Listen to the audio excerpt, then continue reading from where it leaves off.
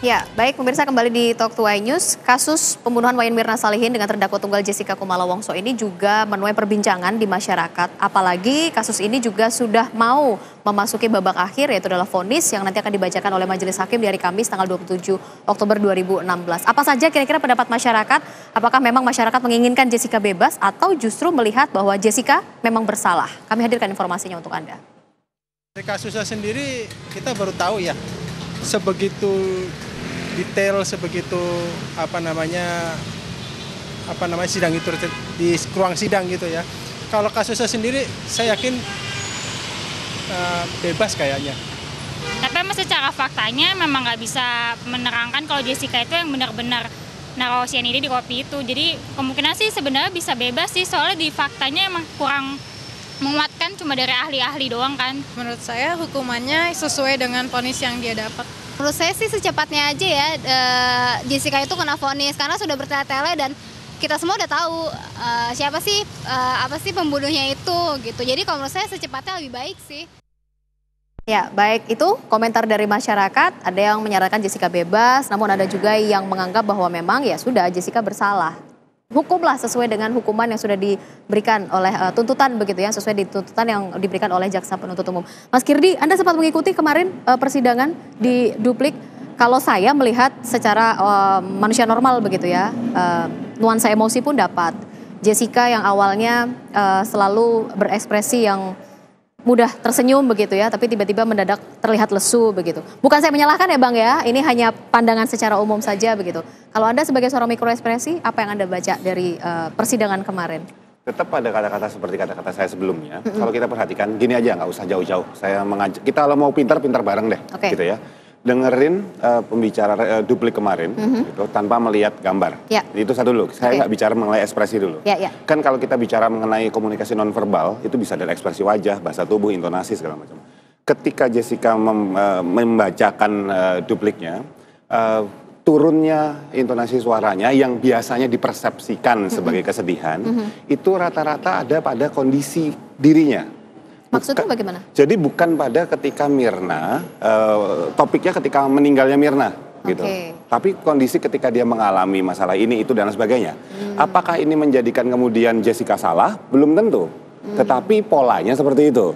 Okay. Ya. Kemudian ketika kemudian Jessica menjelaskan tentang bahwa kena ada tantenya Mirna mengintimidasi ketika hmm. mau apa namanya datang takut diintimidasi. Lihat juga, turun juga. Hmm. Tetapi itu menjelaskan bahwa dia takut diintimidasi. Hmm gitu misalnya. Semuanya Artinya lebih kepada kembali ke pribadinya, betul, begitu ya, ya. Betul. Dan apakah itu salah? Saya yakin jawabannya tidak, bukan oh. menjamin bahwa dia salah atau tidak. Oh. Pola yang ditampilkan dari awal sampai sekarang tetap bahwa ke, uh, tidak terlihat uh, katakanlah uh, sebesar itu emosinya ketika menyampaikan kondisinya tentang temannya, sahabatnya, mm -hmm. Mirna. Jadi itu yang saya lihat polanya. Apakah memang sama dengan yang Anda lihat ketika Jessica membacakan uh, nota pembelaan begitu? Masih sama. Dari awal bahkan baru beberapa kalimat sudah menangis dengan kondisi yang membaca terbata-bata begitu?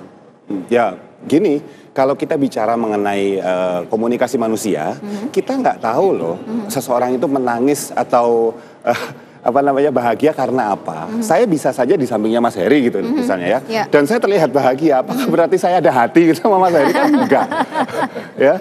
Itu bahaya justru. Ya, iya, ya, itu ya. ya. ya. Tapi pertanyaannya adalah uh, kita kan nggak tahu kenapa misalnya Jessica menangis gerung-gerung seperti itu. Kalau kita mau ngambil judgement secara cepat, kita akan bilang bahwa satu pihak akan bilang, oh itu karena dia nggak bersalah. Okay judgement pihak lain akan bilang oh itu cuma sandiwara yeah. gitu yang mana yang benar sebetulnya menurut saya udah nggak penting jadinya oh. karena saat ini saya ini kalau ditanyakan nanti sama eh, sahabat saya yang dua orang ini ya lebih ngerti hukum nih kayaknya mm. uh, kalau masalah bicara saat ini adalah bagaimana caranya meyakinkan uh, majelis hakim sederhana okay. uh, whatever it takes selama yeah. sesuai hukum. Nah sesuai hukumnya mereka yang cerita, bukan saya. Iya iya iya. Ya. Tapi yang menjadi menarik juga uh, tadi yang sudah sempat kita bahas begitu ya dengan uh, munculnya satu nama baru ya. begitu. Sempat anda lihat juga ya. nama Amir ya. dari pandangan anda?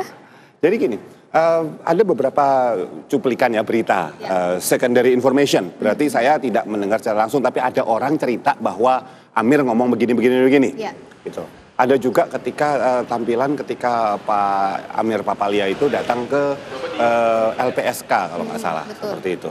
Nah uh, dari beberapa informasi sekunder yang saya dapat tadi um, kata-katanya itu buat saya itu masih banyak kata-kata yang sifatnya mengambang. Ini ya? Ya, ini Amir. Di sini. Ya, Betul lah. Bang Oto ya? Saya nggak kenal. Oh tidak kenal, Anda tidak kenal. Ini yang ceritanya Amir Papalia gitu. Kita nggak tahu benar atau salah segala macam. Saya setuju pada Bang Oto tadi bahwa karena kita nggak kenal ya kalau saya persepsikan ini AP. Oke, ini uh, peristiwa pada saat tadi seorang Amir datang ke LPSK uh, begitu. Nah, um, kan dia membawa katakanlah kartu pers ya, gitu untuk ya, bukti. Ya. Kemudian membawa um, kalau nggak salah ada tabloid atau apa mm -hmm. gitu membuktikan bahwa dia kerja di situ segala mm-hmm, macam. Mm -hmm. Jadi gini, uh, apakah seseorang memegang kartu pers dan membawa tabloid kemudian menjustifikasi bahwa dia itu kompeten atau punya kredibilitas yang cukup untuk bicara bahwa itu pasti jujur? Okay. Kan enggak, enggak ada sebuah korelasi langsung. Yeah. Uh, saya saya bisa datang kemudian membawa sebuah katakanlah uh, pedang gitu, terus bilang bahwa saya ahli bela diri. Belum tentu saya kemudian memang ahli bela diri kan. Hmm gitu. Artinya itu hanya sebagai pembuktian diri saja begitu. Iya, Kalau iya, iya. dikatakan iya. dia adalah seorang wartawan, iya, dia sah -sah membawa saja. seluruh atributnya begitu. Iya, dan sah-sah saja itu cuma membuktikan kalau misalnya kartu persnya ternyata valid bahwa dia memang wartawan. Oke. Okay. Ini, ini sama dengan misalnya contohnya uh, seseorang bawa kartu pers terus kemudian melakukan pelanggaran hukum iya. misalnya. Yeah. Yeah. Ya, apakah kemudian nggak dia nggak boleh dihukum? Hmm. Dia harus dihukum demi hukum kan. Hmm. Nah pertanyaannya apa? Apakah kemudian dia bebas dari hukum? Enggak. Satu. Apakah kemudian dia akan selalu bicara jujur? Juga enggak.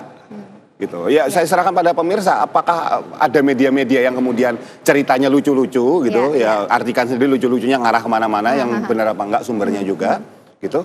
Ya, dalam hal ini ya walaupun ada uh, katakanlah yang mengaku namanya AP gitu datang ke hmm. LPSK segala macam, belum tentu juga menghadirkan sebuah fakta bahwa dia memang kata-kata apa yang dia ucapkan benar atau salah. Oke. Okay, ya. Nanti kemudian proses kalau ya. memang tadi kata Bang Oto penyidik yang memproses selanjutnya, ya, ya kita lihat di situ. Artinya uh, itulah kenapa Bang Oto juga tidak uh, memperpanjang begitu ya karena memang uh, kalau memang dari awal sudah ada akan dihadirkan begitu dalam persidangan ya, begitu.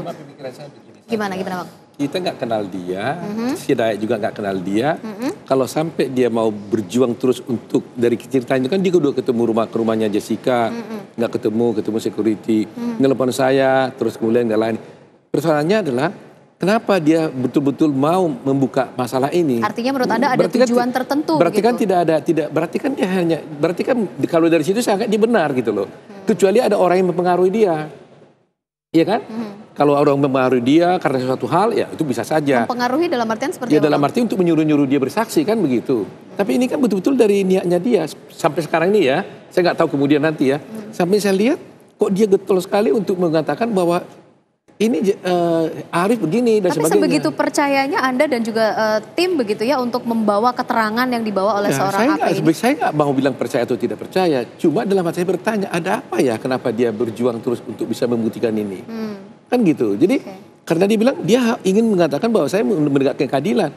Ya oke okay, kalau memang itu silahkan aja proses kan gitu. Hmm. Nah jadi maksud saya saya coba melihat dari sisi yang netral harus dilihat dua sisi ya kan? Ya. Karena kalau dia dengan sepenuh, kalau betul-betul terbukti itu datang dari hatinya, dia melihat satu peristiwa, dan kemudian dari hatinya dia ingin menjelaskan itu kepada penyidik, itu kan saya kira bagus kan gitu. Hmm. Nah persoalannya apakah cerita ini adalah benar itu satu. Ya.